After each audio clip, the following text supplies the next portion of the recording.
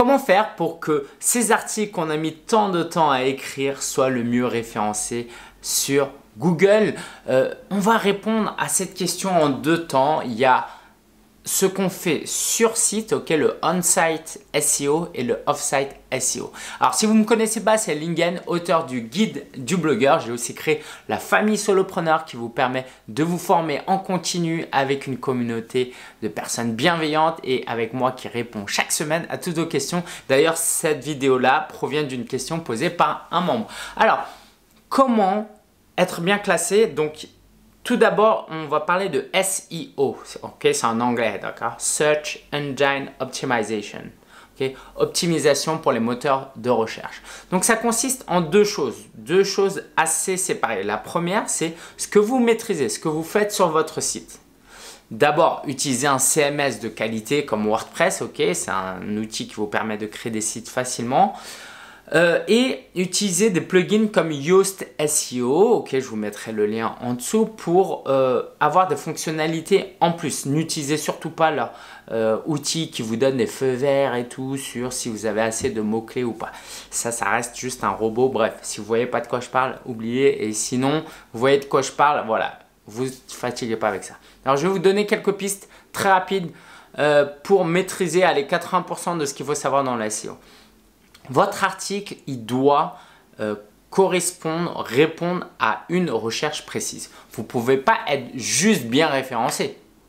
vous êtes référencé, bien référencé pour un terme précis. Donc, si quelqu'un tape recette de cheesecake et que vous voulez apparaître pour le mot recette du cheesecake, eh ben, dans votre texte, l'une des premières choses à faire, c'est d'avoir repéré ce mot-clé et de mettre plusieurs fois ce mot-clé là. Ok, vous allez mettre recette de cheesecake dans le titre, deux points, la recette de ma grand-mère. Et puis en sous-titre, vous allez dire les ingrédients pour acheter, euh, les ingrédients pour réaliser un cheesecake et euh, les erreurs à éviter si vous voulez euh, réussir votre cheesecake. Et puis dans le texte, vous allez mettre euh, cette recette de cheesecake m'a été donnée par ma grand-mère qui vivait aux États-Unis, etc., etc. Vous voyez, donc cette répétition de mots-clés et de mots-clés qui se ressemblent, hein, c'est-à-dire que vous n'êtes pas obligé de toujours dire recette cheesecake. Si quelquefois vous dites recette cheesecake au singulier après au pluriel et vous utilisez des synonymes comme, euh, alors je sais pas, il y a quoi comme synonyme de,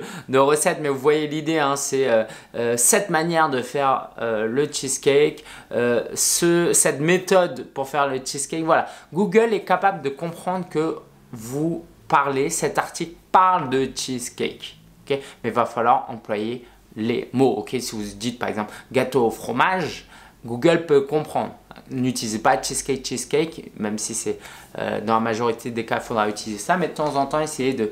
Euh, vous pouvez même aller jusqu'à faire des petites fautes, ok? Cheesecake en un mot, cheesecake en deux mots, ok? Donc ça, c'est le travail de mots-clés.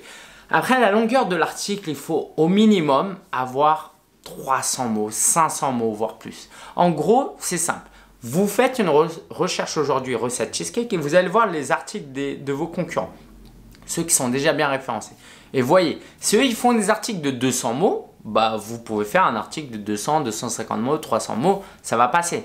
Mais s'ils font tous des articles de 1000 mots et que vous, vous arrivez avec une nouvelle euh, recette, quoi, un, nouvel article qui fait seulement 400 mots, vous allez vous retrouver désavantagé. En gros, Google, c'est comme vous quand vous allez euh, à la librairie ou dans une, ouais, dans une librairie, voyez, il y a deux livres qui parlent de la même chose. Il y en a un qui fait ça de largeur et l'autre qui est tout fin vous allez dire, bon, peut-être que le plus gros livre, euh, si c'est le même prix en plus, euh, est plus intéressant. D'accord? Vous voyez un peu. Donc, il y a l'aspect quantitatif qui est intéressant et important aussi.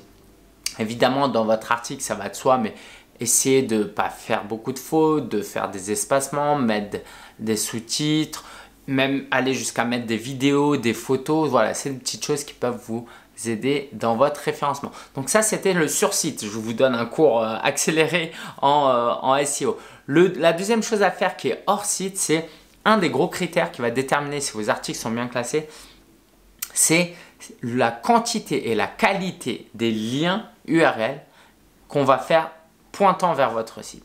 Par exemple, si euh, Le Monde, Libération et Le Figaro publie des articles euh, qui font référence à votre blog ou à votre article ou à votre recette de cheesecake, il y a un lien quand les gens cliquent dessus, ça vient chez vous. Et eh bien Google voit ça comme des votes. Il se dit, ok, ces sites-là euh, sont de qualité s'ils référencent, s'ils recommandent Lingen, le site de Lingen, c'est que cette page-là chez Lingen doit vraiment être bonne. Sinon, il n'y aurait pas, aurait pas ces liens-là qui viendraient. Mais il y a aussi une histoire de quantité. Plus vous avez de liens, mieux c'est. Ok?